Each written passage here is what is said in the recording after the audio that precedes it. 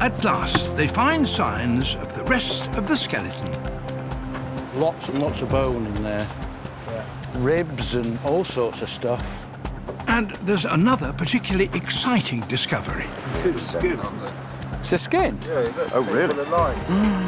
They've found signs of fossilized skin.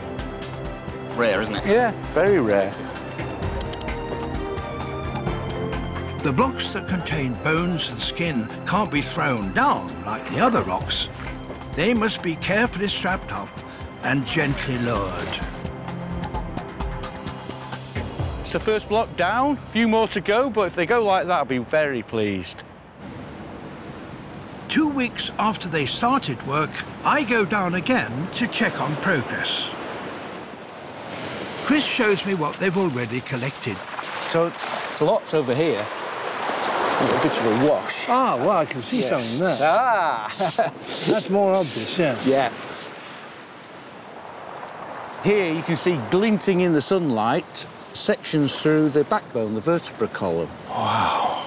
And these are the ribs that are still attached to the vertebrae. And these are the neurals that come, come off The, the, spine's backbone. off the yeah. top, top of the back. Yeah, but they've actually got skin preserved on them.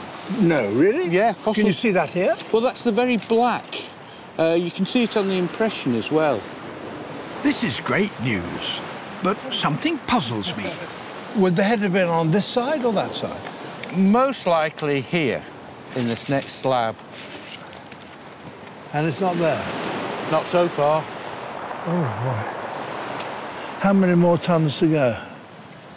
Oh.